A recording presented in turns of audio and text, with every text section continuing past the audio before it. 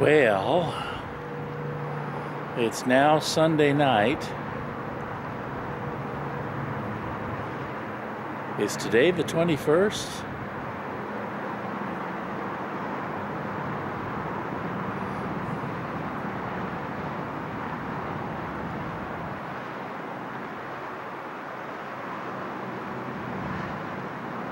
Yeah, Sunday the 21st. And it's summer. I missed the fireworks, but there they are. The moon and the two planets. Last night they were in a triangle. The moon was down towards the other two, below the other two, and to their uh, to their left, over there. But now it's way up there and off and way far away to their left. They're almost, almost drawing a line. The most exciting thing that's happening here is an airplane.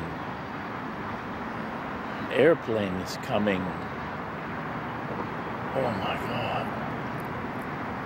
Oh my God, an airplane an IFO, identified flying up. Hey, focus. Focus, you foolish thing. Come on. It won't focus. Yeah. We want the moon to focus. Oh, yeah. Too bad. Hear it? Hear that sucker cruising by overhead? I'm sorry, the camera wouldn't cooperate. It wouldn't focus. But tonight, the moon is moving on away. I'm sorry to say, the great triangles are ended.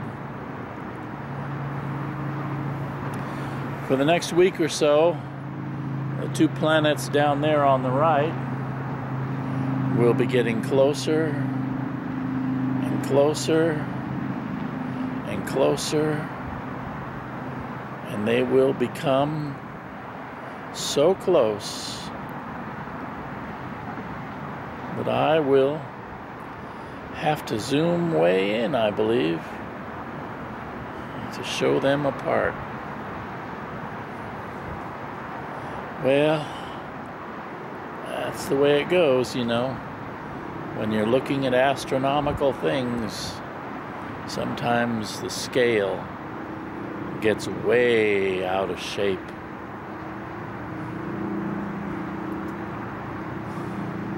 Just like Phantom Vision and John Ain't Right, screaming and yelling at each other. Astronomical.